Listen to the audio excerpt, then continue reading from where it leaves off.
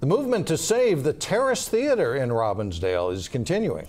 Thanks to one Robbinsdale resident, the Terrace is getting plenty of love. Eric Nelson has a story. Having been dark for 17 years, honestly, it's a travesty. It is an icon. It's been standing for 64 years now.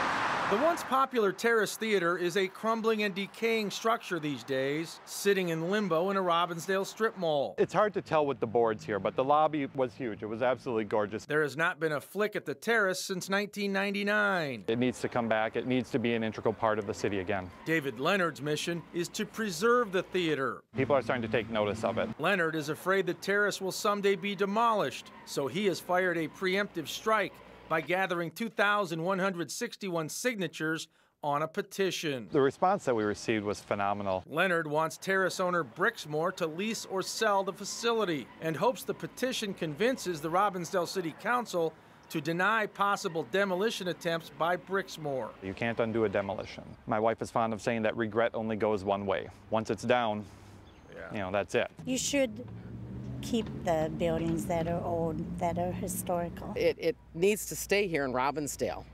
A lot of people came here and, and we miss it now that it's gone.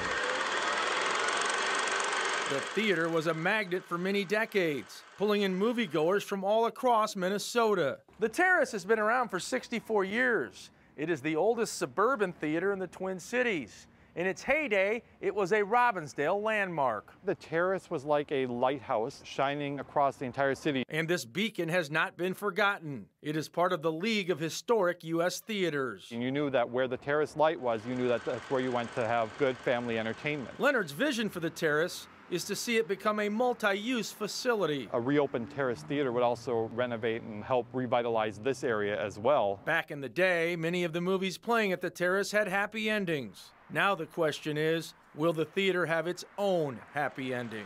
In Robbinsdale, I'm Eric Nelson, Channel 12 News. The Terrace had 1,300 seats when it was open, and people came from other theaters to Robbinsdale to try to replicate it in their own hometown.